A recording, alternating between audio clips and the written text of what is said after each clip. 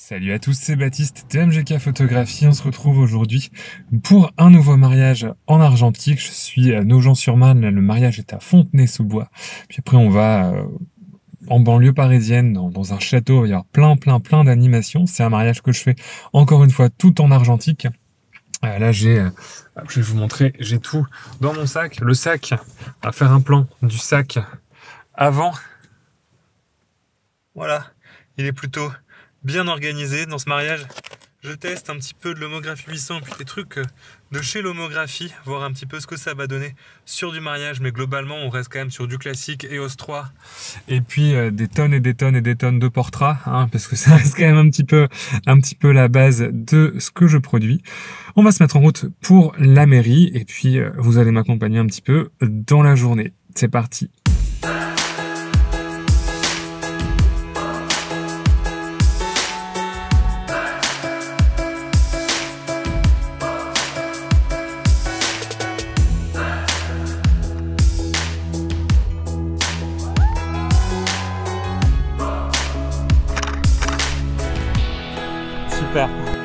Les deux premières années où je proposais des prestations de mariage en argentique, je les ai surtout passées à roder ma routine. Euh, puisque faire des reportages de mariage tout en argentique, ça demande une certaine organisation et surtout une aisance et une connaissance totale de son matériel et des films que l'on va utiliser.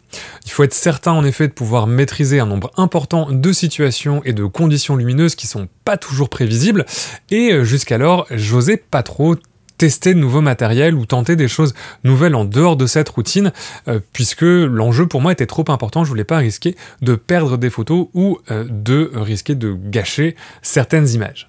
Cette année cependant, j'ai gagné en assurance euh, et je me suis rendu compte qu'il y avait un paradoxe dans ma précédente philosophie qui consistait à rien changer.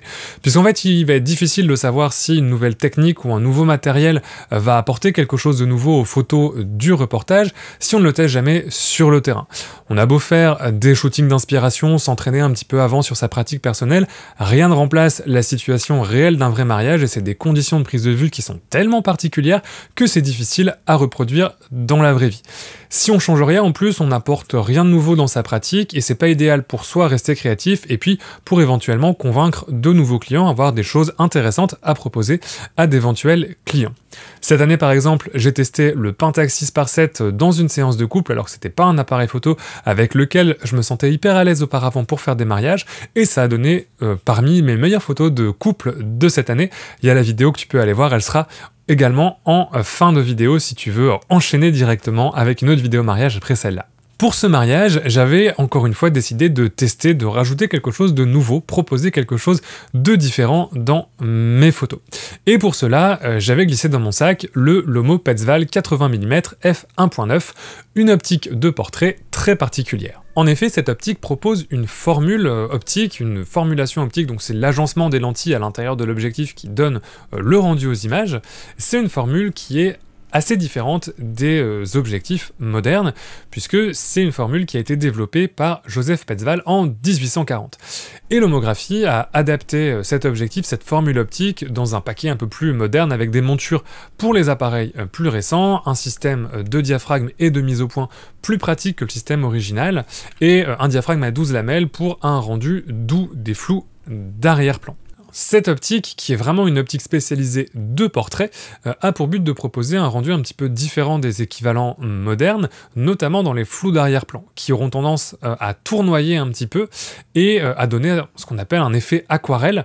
L'idée là était pour moi vraiment de tester cette optique sur du portrait lors de la séance de couple et voir ce que ça apporterait sur mes photos. Alors malgré tout, j'ai couvert la grande majorité du mariage avec mon matériel habituel, faut pas pousser non plus les tests euh, trop trop loin. La journée a commencé directement à l'église et ça faisait un moment où j'avais pas couvert de cérémonie euh, religieuse. Euh, c'est jamais un moment évident puisque il faut à la fois saisir les émotions, mais également pas déranger le cours de la cérémonie, notamment tout ce qui est moment de recueillement, sermon, etc. Et je pense qu'il est important de laisser exister ces moments-là aussi, peut-être même pour capturer des émotions plus sincères après, et pour laisser la place aussi euh, au recueillement.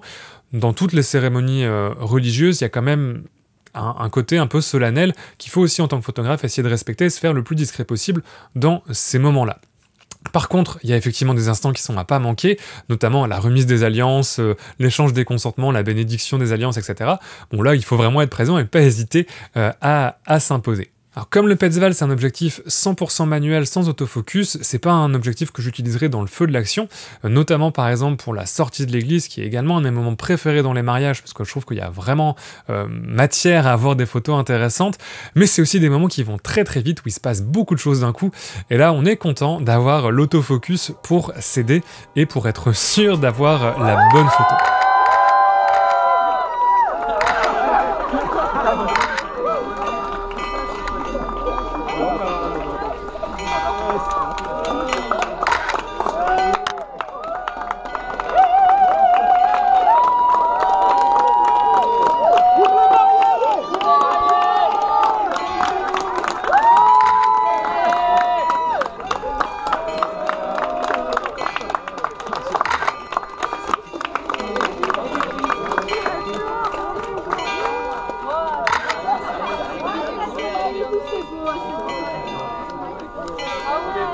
S'embrasser quand même pour tout le monde avant de partir.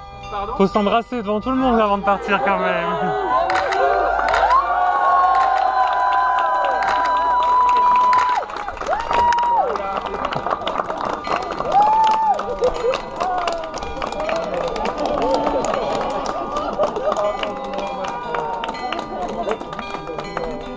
Est venu ensuite le moment du vin d'honneur qui se passait dans un château et euh, qui avait lieu un peu plus tard que d'habitude. Il a commencé entre 17 et 18 heures et fin septembre, la lumière tombe assez vite, ce qui était euh, assez stressant. Bon, malgré tout, c'est un moment où on peut un peu plus se détendre, il y a un peu plus d'opportunités de photos euh, différentes et j'en ai profité pour tester aussi une autre technique que je que pas mise en place auparavant, notamment pour les photos de groupe, au sens où d'habitude je les prends avec mon grand angle, mon 55 mm sur du moyen format 6, 4, 5. Et là, je les ai prises au téléobjectif, ce qui donne un aspect totalement différent. Alors forcément, ça demande beaucoup plus de recul, c'est un peu plus difficile pour communiquer euh, avec, euh, avec le groupe, mais en termes de rendu, c'est assez intéressant parce que ça va vraiment compresser les arrière-plans et on va vraiment gagner euh, un, détachement du groupe par rapport au décor qui est assez intéressant. Et j'ai beaucoup, beaucoup aimé utiliser cette technique à perfectionner la prochaine fois, peut-être avec un trépied, même si c'est un peu plus figé, ça donnera des choses quand même assez intéressantes. Je trouve que ça change un petit peu des rendus de photos de groupe. Moi qui aime pas trop faire des photos de groupe et je trouve c'est difficile d'avoir euh, des photos de groupe esthétiques, je trouve que là c'était une bonne manière de changer un petit peu ça et d'avoir un rendu différent. Enfin est arrivé le moment tant attendu de la séance de couple. Avec mon moyen format, euh, j'ai réalisé les portraits que j'aurais fait habituellement et j'ai tout simplement doublé certaines scènes, certaines poses avec le Petzval qui était sur mon EOS 3 que j'avais euh, également sur moi. Ça n'a pas posé trop de problèmes, je demandais juste, prenez un peu plus de temps par pose, mais globalement, ça, ça n'est pas rentré en conflit avec ce que j'aurais fait habituellement sur une séance de couple. Quand j'ai eu les résultats de la pellicule, j'étais vraiment très content des résultats du Petzval. Alors les photos n'ont euh, pas de problème en termes de définition, en termes de contraste, de couleur, c'était vraiment euh, parfait. Et en plus, on a vraiment ce flou d'arrière-plan distinctif qui a gagné en mouvement, qui est un peu tournoyant, surtout euh, dans les coins des images. Je trouve que ça a rajouté un certain dynamisme dans les photos, une sorte de mouvement dans les poses qui étaient assez figées. Et sur des, des arrière-plans végétales, ça marche vraiment très très bien, puisque en argentique, là, on est sur des poses forcément un petit peu plus figées, puisqu'on est euh, en mise au point manuel, euh, en argentique, à pleine ouverture, donc c'est difficile de gérer euh, des mouvements trop importants, donc on est un peu obligé de travailler avec des poses un peu figées, et d'avoir ce, flou d'arrière-plan qui va tournoyer, qui va avoir ce ce côté, ouais, cette, courbure, ce mouvement, ça donne vraiment quelque chose d'intéressant en photo et je suis vraiment très content de l'avoir glissé dans mon sac ce jour-là. Ma dernière fierté du mariage, ce sont les photos de la soirée.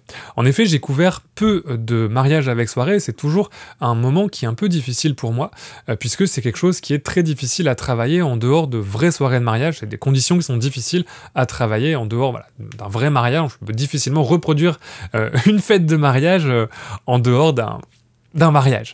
Donc au départ, on y va surtout euh, un petit peu à l'aveugle avec la théorie de la photo au flash, etc., etc.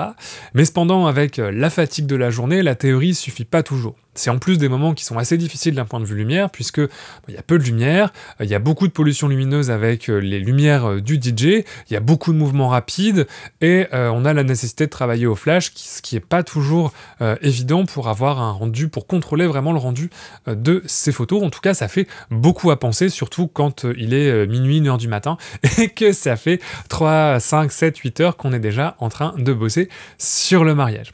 Alors si mes précédentes photos de, soirée, elles étaient tout à fait honnêtes et j'ai jamais eu de plainte, j'en étais relativement satisfait, là c'est vraiment la première fois que je trouve que j'ai réussi à faire quelque chose d'intéressant avec ces photos. J'ai vraiment l'impression d'avoir débloqué quelque chose dans ma pratique de la photo au flash et euh, au flash en argentique notamment, et ça m'a fait vraiment très plaisir de voir le résultat.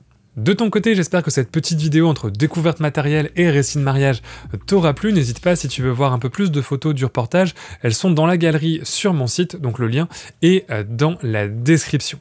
Moi j'ai également beaucoup aimé euh, travailler avec euh, le Lomo Pezval, malgré son poids quand même, hein, parce que la finition laiton, euh, ça pèse assez lourd, et dans le sac avec tout le matériel, c'est compliqué, je sais pas si je le conseillerais dans, un kit comme ça de mariage avec deux autres boîtiers, trois optiques, un moyen format et leurs optiques, bon ça fait, ça fait un poids certain, et c'est vrai que c'est une optique qui reste très spécialisée, qui va vraiment marcher bien pour du portrait, où on peut prendre le temps, parce que pour tout ce qui est reportage et dynamique, c'est assez difficile euh, quand il n'y a pas d'autofocus, quand on est vraiment sur une mise au point manuelle, il faut vraiment avoir le temps pour être certain de réussir ses photos, surtout si tu l'utilises en combinaison d'un appareil photo argentique. Je remercie l'homographie qui m'a prêté l'appareil euh, à l'occasion euh, de ce test. Alors, je sais pas si moi je l'achèterais personnellement, puisque euh, c'est quand même un objectif très spécialisé, mais ça m'a fait de l'œil malgré tout de pouvoir le tester.